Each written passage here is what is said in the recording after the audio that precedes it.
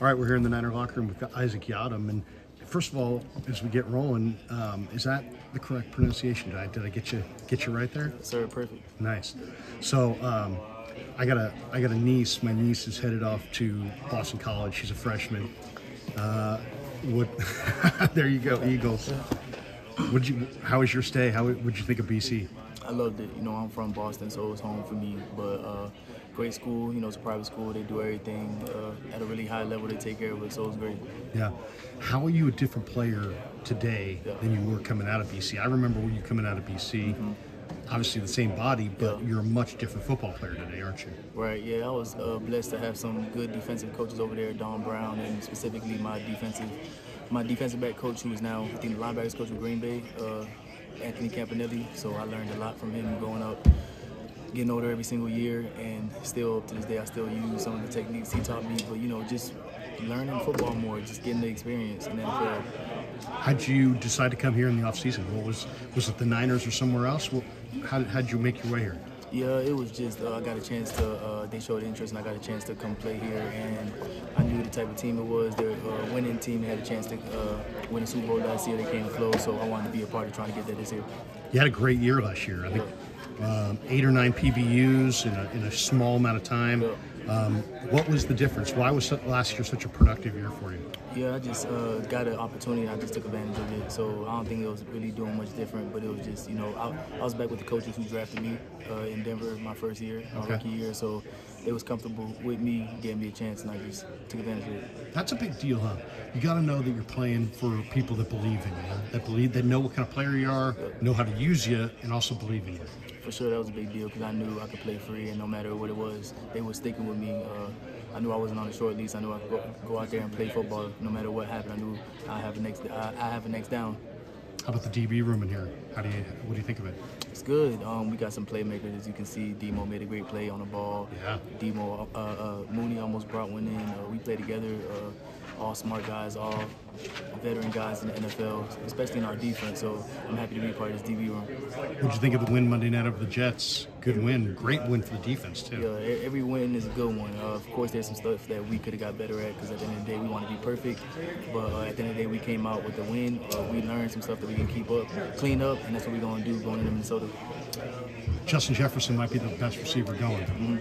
What makes him so tough? What, why is he a tough cover? And you're, for people don't know your game, you're a big corner. You can match up with the big receivers. But what makes Jefferson so tough?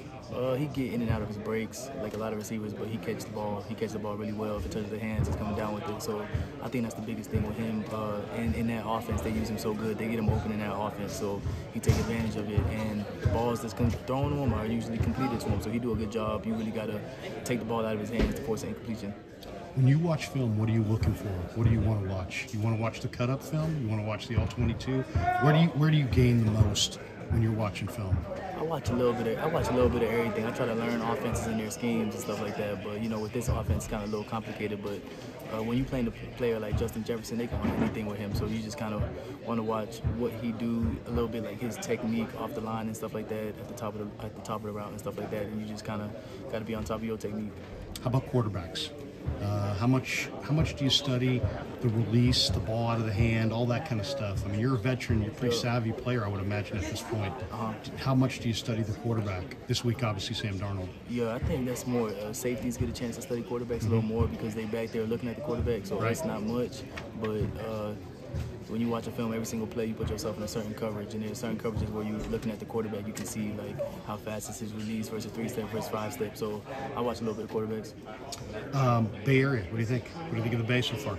Weather's great, vibes great, can't beat it. Yeah. So you grew up in Boston. Yep. What was it like? uh, In the city or what part of Boston? Grew up in Worcester, Oh, okay. town uh, outside of Boston, but it was cool, but it was cold.